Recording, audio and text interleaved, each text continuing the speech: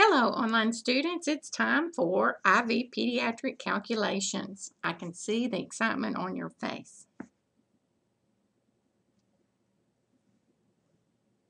Not really? well, it is an exciting time. Pediatrics is one of those things that's a specialty medicine that you really have to want to take care of a family as well because once you're taking care of a pig, you're taking care of the whole family.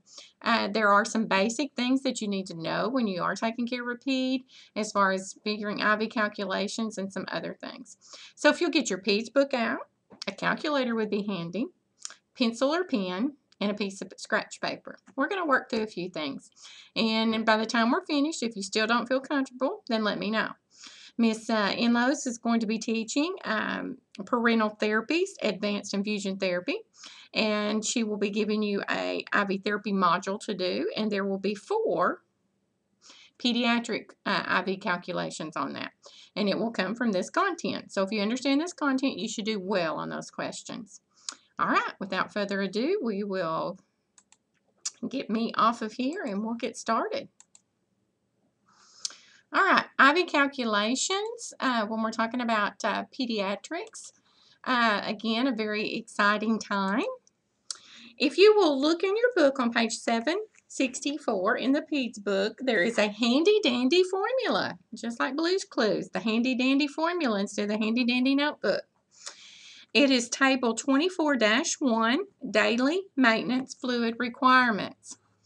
Uh, you can see there that there's body weight in kilograms and the amount of fluids per day. So you always have to calculate the weight of the child in kilograms, and it says a hint. Uh, of course, you know to divide by 2.2 to convert pounds to kilograms.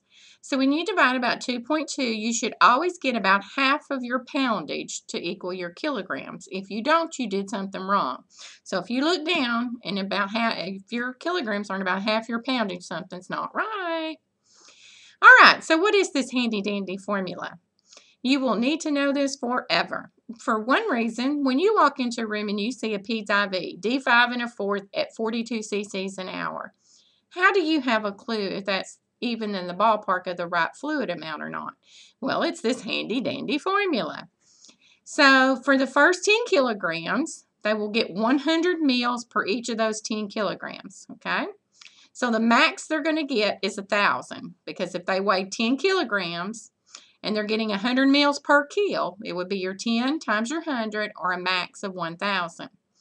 For the 11 kilograms to 20 kilograms, you're going to take your 1,000 that you got up here from your first 10, and then anywhere between 11 and 20, you're going to multiply that times 50 mils per kilo.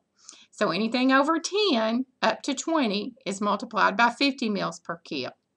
Then anything over 20 kilograms, you would have to go back. The max you can get here is 500.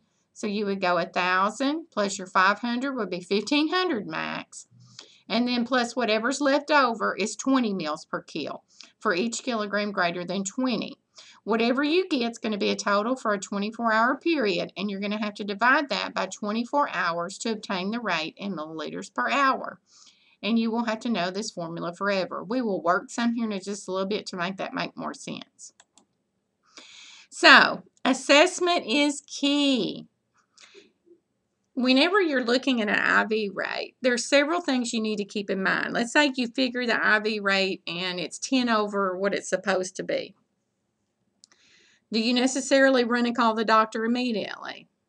Oh my goodness, he made a mistake. He's 10 over. No. You got to go in and look at things. Critically think. Let's do some clinical reasoning. What was the reason for admission? Was it nausea, vomiting? Have they been doing this for three days and they're severely dehydrated? Are they NPO on top of that? What is their diet status? Look at their lab. What's their sodium? The sodium is going to tell all there is to know uh, a lot about dehydration status. Look at their vital signs. Are they showing signs of being hypovolemic? And what type of solution are they on? Is it causing shifts? So you had to critically think about each individual patient before you actually call the physician. Go back and dig in there before you make those uh, decisions because the key uh, keen assessment skills is critical when taking care of pediatric patients. So let's work through some of these. First of all, we have Amy Smith, who's a six-month-old. And when we get ready to, with pediatrics, you always round to the nearest 100th, okay? So we have a 22-pounder who is admitted with dehydration, has an IV of D5 and a fourth at 42 cc's an hour. Is this a safe rate? So I've walked in this room. I have a six-month-old who weighs 22 pounds, and they've got an IV going D5 and a fourth at 42. Well, let's go back to our handy-dandy formula. For the first 10 kilograms, they could have uh, up to 100 mils per kilo. Well, how do we know how many kilograms they weigh?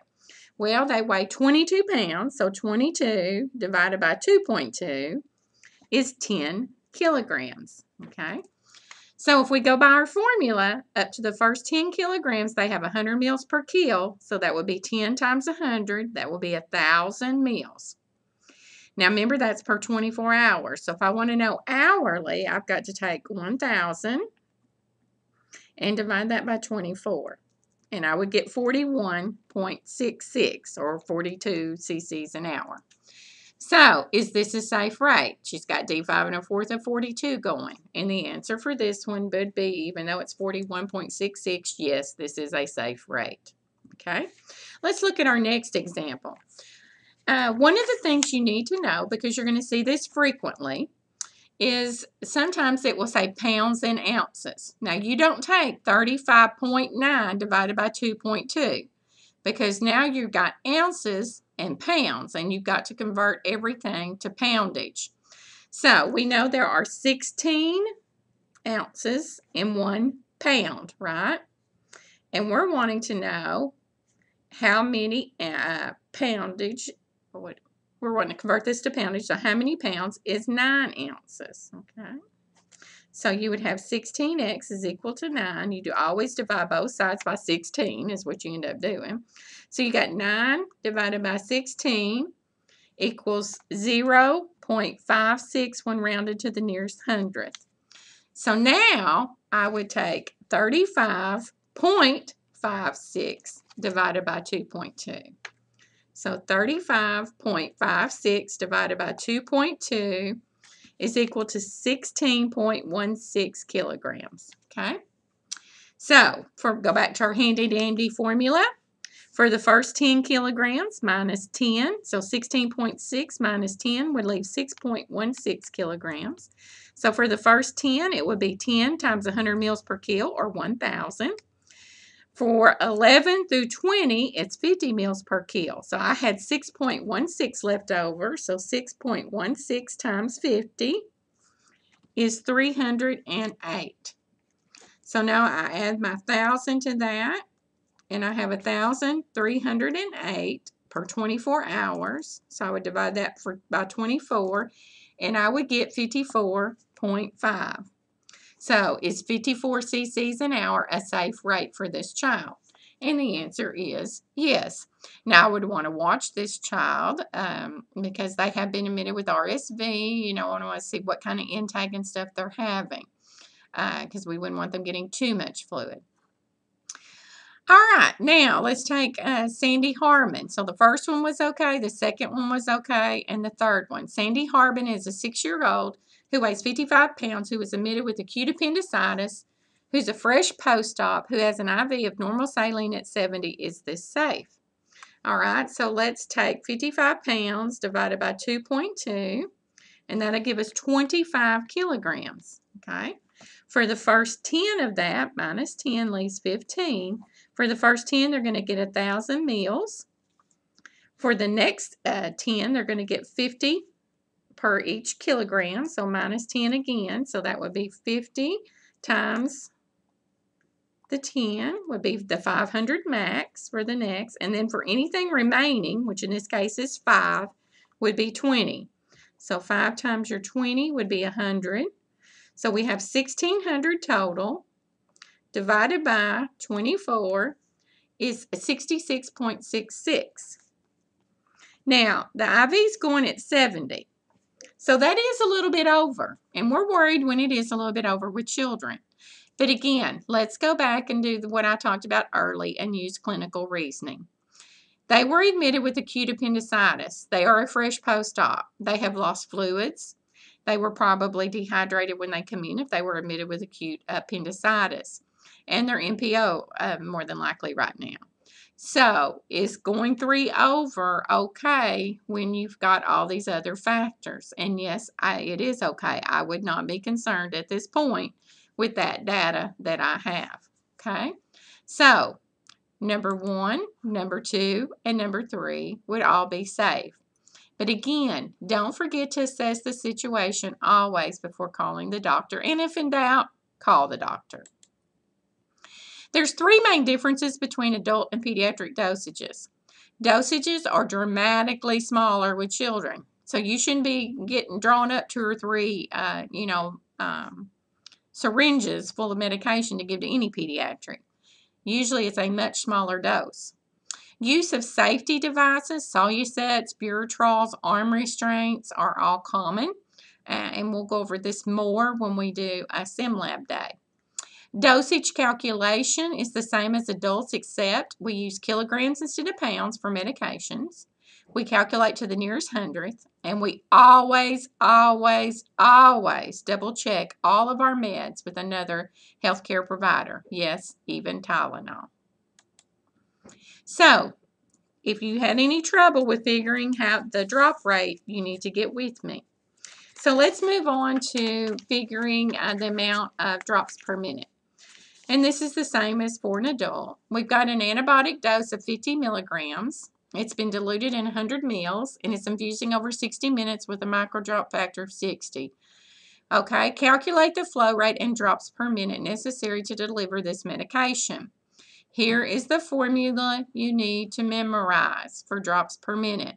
The amount of your solution times your drop factor divided by your hours in minutes.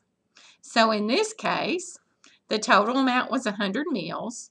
The infusion time was 60 minutes. The drop factor was 60 drops per minute.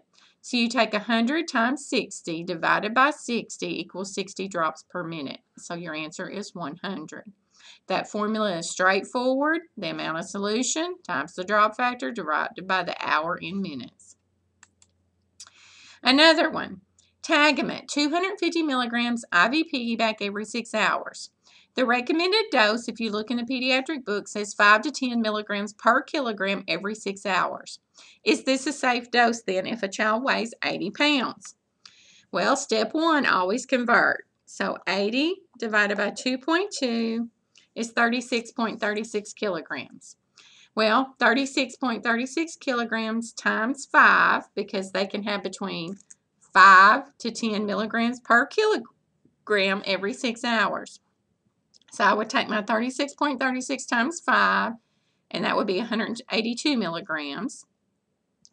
They can have up to 10 milligrams per kilogram, so I would take my 36.36 times my 10, and that would give me 363.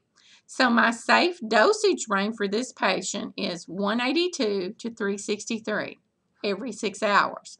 If I go back and look, the patient's getting 250 every six hours. So yes, it falls right almost in the middle, and this would be considered a safe dosage range.